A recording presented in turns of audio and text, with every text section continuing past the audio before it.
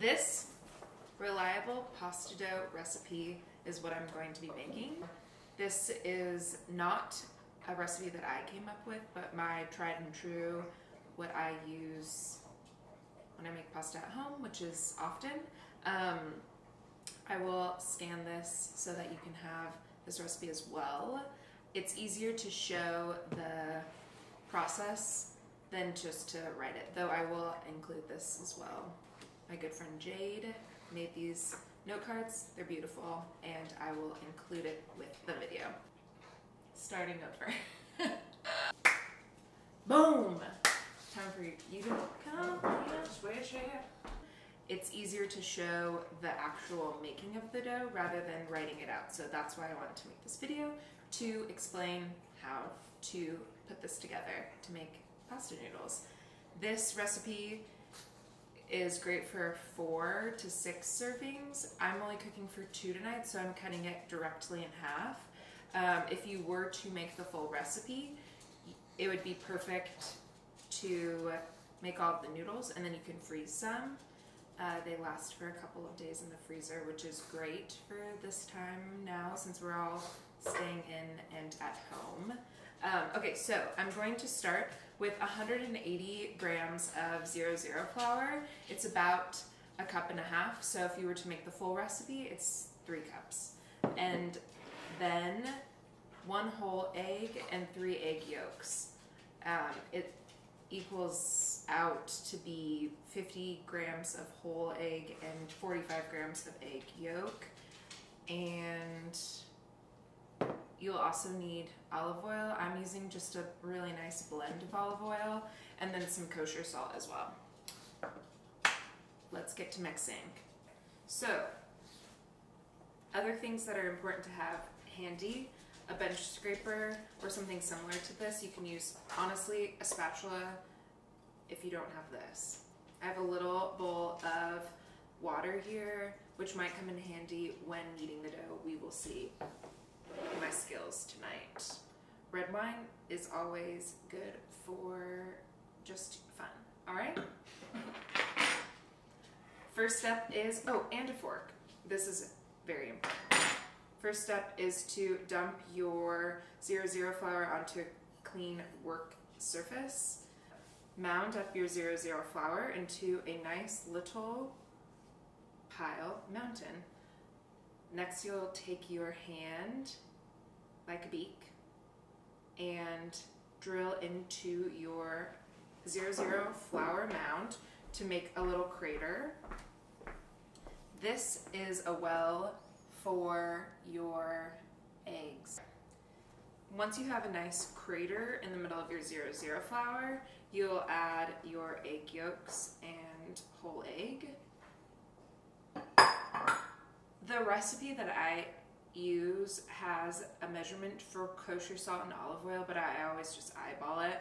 I'll do like two pinches for this and a nice little squirt of olive oil. The olive oil adds a bit of hydration as well as richness to this egg pasta dough. Um, this part can be kind of tricky if you are new to making pasta dough, but what you'll want to do is whisk around your eggs and yolk till they become one, just like that. And then slowly but surely you'll want to start scraping the sides and the tops of your zero zero flour into your egg mixture uh, very slowly. This is an important step just because you want to slowly add that flour. I've tried making pasta dough in a KitchenAid mixer and it does not turn out as nicely. This is a little bit more intentional and you can control the amount of flour that's going into the eggs at one time. The pasta grannies of Italy do it this way and I won't do it any other way. If you break your uh, your flour well as you're doing this, it's not really that big of a deal. You could just start kneading.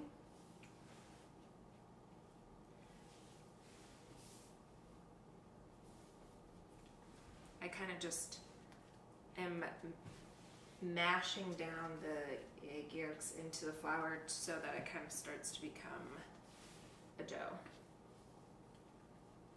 Slowly but surely. And then once it looks something like this, I always just will scrape off the fork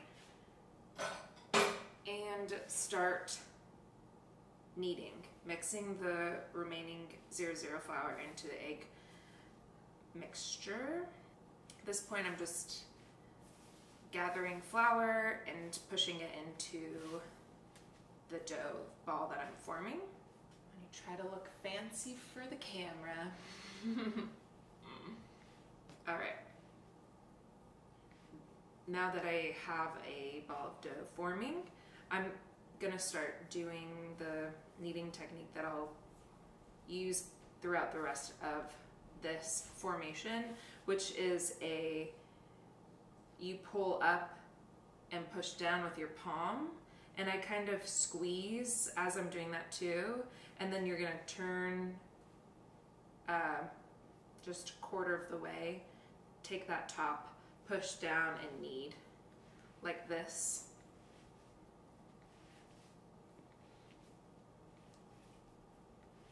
And the nice thing about pasta dough is that you cannot over knead it. You really want to make sure that you've kneaded it enough, but there, it would take like a very long time for you to get it to the point where it's over kneaded. Honestly, like five minutes or more is what I would recommend for this kneading process. This is how you get big wrists by kneading a lot of pasta dough. Strong wrists. Kind of gotten to this point where I can tell that this dough isn't going to incorporate any more of this flour, but I want it to be just a little bit softer, and I don't want this flour to be dusty on the outside. So I'm gonna take this little bit of water, and you really don't wanna add too much. Um, but the great thing about this pasta dough is you, as long as you can feel as long as it feels like it's right, it probably is going to be. You don't want it to be too wet or too dry. You just kind of have to feel for that middle ground. It's going to get more moist as it sits and rests. So you kind of want it to be on this cusp where you're like, this might be too dry. You definitely don't want it to be like, this is too wet. So we continue to knead. This feels too wet to me. It has like a glossy uh, finish to it. So I'm going to add some of this extra dough that we have here and continue to knead. I have a bit of water left over here, so if I feel like I need to add more, it's on my work surface and I can just uh, scooch my little ball of dough over into it and grab more water. And we're just gonna keep kneading. I'm going to keep kneading until it gets silky and smooth. The thing about making pasta is it's all really by touch and you get to use all of your senses, which is one of the reasons why I like making pasta. It feels supple, is that a good word? But not too loose, like it's pretty, it takes like quite a bit of force to flatten. Um, get it into a nice ball and we're going to wrap this in plastic and let it sit for 30 minutes. The resting period is so that gluten can form. The zero zero flour is the finest milled flour there is, and it's also the, has the lowest gluten content. So it makes a really nice smooth dough, but it needs proteins to form that gluten. Um, and that's what the eggs do. Okay.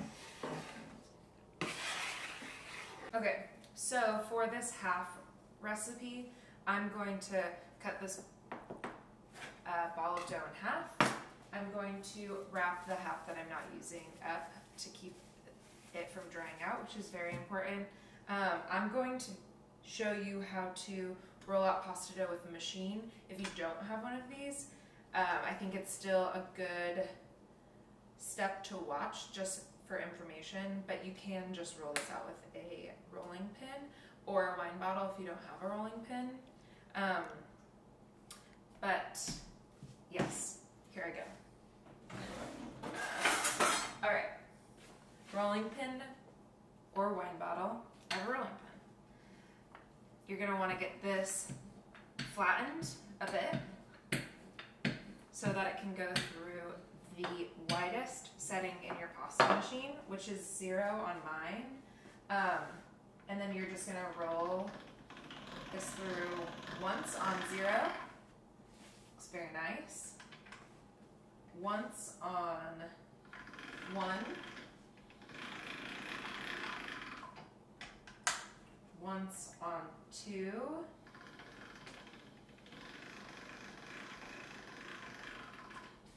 This is pushing out air bubbles and you want to take it slowly through these levels, thicknesses, so that it doesn't overwork the pasta dough too quickly. I'm going to take it to a three and then I'm going to stop for a second. Got a hair that's dangling on my arm. It's not good. Okay, this part um, I didn't do until recently. I did it in a different way, I'm like a much more difficult way, but I highly recommend doing it this way. We're gonna laminate the dough in one step here. Um, so long sheet of dough folded into thirds, fold into half. This is laminating the dough so that it's, it's gonna be stronger. We're gonna get the air bubbles out. Now we have again one sheet and we're to start over at zero and we're going to take it all the way to our desired thickness. Um, I'm going to be using this machine to make tagliatelle tonight. So traditionally tagliatelle is made with pasta dough that is as that is so thin that you could read the newspaper through. That's kind of what they say. So I'm probably going to take it to a five or a six. I'm at a three right now. This is a looking really nice. So if you don't have a pasta machine, I would just recommend rolling it out to your desired thickness, maybe trying to laminate it in a similar way that I just did, and then rolling it back out. Um, or not, before I had a pasta machine, I just rolled the dough out to my desired thickness and then used a knife to cut noodles out of that sheet. Uh, works just as good as this. This is just a little bit more efficient. So the pasta, the sheet of pasta dough is getting thick, not thick. The, the sheet of pasta is getting very long. And we are at a five. I'm gonna take it one more to a six, but I'm gonna cut this in half. Cut in half. And now we're gonna go to a six, and I think that's as far as I'm gonna take it. Got some dog hairs in the pasta for good measure. Got those dogs. Okay, that is a six. I'm going to lay this here. If you're rolling out the pasta dough, I would recommend lightly flouring your work surface so that you, it doesn't stick because the longer the pasta dough sits, the stickier it gets. Through six on this sheet. All right, two nice sheets of pasta dough that you could read through. Ah, beautiful. I've rolled my pasta dough out to a six and I know it's ready because I can read through the pasta. Um, that's perfect. That's exactly what you want for tagliatelle. It's also kind of the thickness that I do for most noodles, unless I'm going for something thicker. So I've cut this pasta sheet in half to make the desired length of my noodle, which is personal preference. I just, it changes every time for me. I am going to roll this now through the other side of the pasta maker, which looks like this is the other half of a pasta maker, uh, or this specific pasta maker. This is the cut for tagliatelle. I'm rethinking my original decision. I think I'm gonna go with the smaller noodle for the pasta I'm making tonight, which is cacio e pepe, um, typically done with a round noodle. And we're going to make perfect flat noodles. Um, here, slow and steady, and perfect. Hanging your pasta while you're cutting the rest of your noodles. This is important because, like I was saying earlier, the longer it sits out, it's gonna get sticky, so you want it to hang so that it kind of dries and doesn't stick to itself. If you don't have something like this, you could use a big pot, like a stock pot or just a larger pot, lay chopsticks or wooden spoons across the top of it and lay your pasta on it similar to this so that it dries more uniformly. How nice does this look? Woo! All right, and then now the second one through. Gotta catch it on the other side so it doesn't fall all over the place. This is a good job for a second person if you have it. If not, not a big deal. We lay her down. Okay. Keep on repeating. Um, cut this pasta sheet in half again. I'm embarrassed by my knife.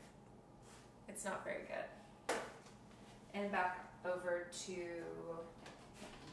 our noodle cutter, technical term, layer down. This looks great.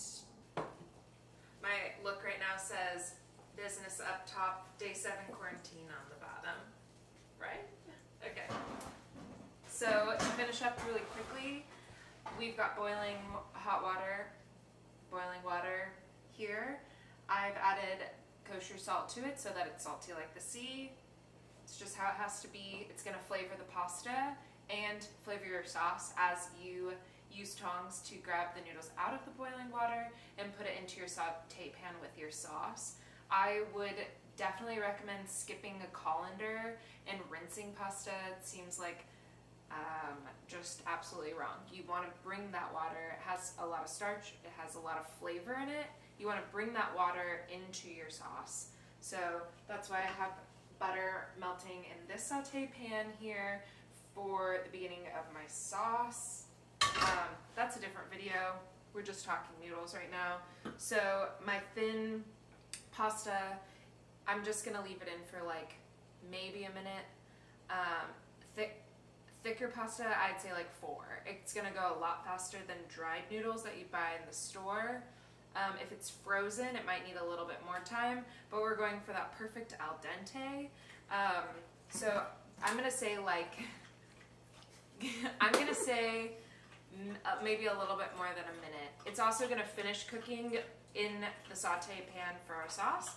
So it doesn't have to be perfect right away. You might, might wanna even let it cook a little bit less. My dog's drinking off in the corner, his water.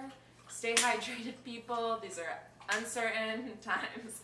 Okay, so I'm just gonna pop off, here's my all of my noodles that I've just made. Pop it off the stand. I'm gonna just, am I really close to the camera? I'm just gonna slide it right in. It's gonna be quick. And that is where I'm going to leave you for today.